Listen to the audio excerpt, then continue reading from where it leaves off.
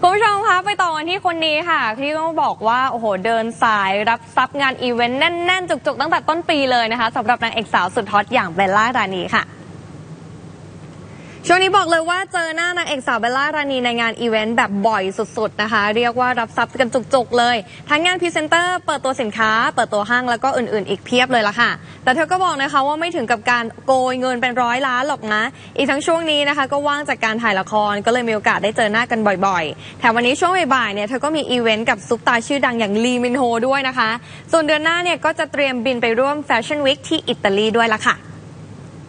เวลาที่เหมาะก็เลยมีงาน ค่อนข้างเยอะสำหรับช่วงนี้ลองนับนับๆดูแล้วแบบใน 15 วันเบลล์มีอีเวนต์6งาน ซึ่งแบบปกติแล้วเราเจอกันเดือนละครั้ง2เดือนครั้งเลยไม่ได้ตั้งใจค่ะเป็นทั้งลูกค้าค่ะ ก็คือมีทั้งเปิดตัวพรีเซนเตอร์ด้วย 2 ตัว แล้วก็มี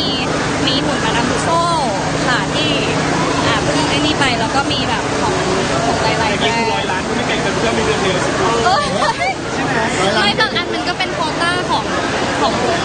ของเขาเรียกว่าของสินค้าที่ เราจะแบบต้องมาอีเวนต์อยู่แล้วพรุ่งนี้ก็มีอีเวนต์ค่ะเงี้ยแต่ว่าช่วงเนี้ยไม่ได้มีงานแสดงก็เลยได้มาเจอทุกคนแบบบ่อยมากขึ้นอะไรอย่างเงี้ยแต่ว่าเดี๋ยวอีกสักแบบสองเดือนสามเดือนก็เดี๋ยวจะกลับสู่โหมดเดิมแล้วค่ะเดือนหน้ามีไป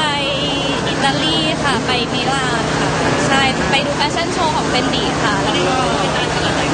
ประมาณสักสิบวันได้ค่ะ lucky in game ตั้งแต่ต้นปีเลยนะคะ ยังไงขอให้ปีนี้เบลล่า lucky in love ด้วยแล้วกันนะคะ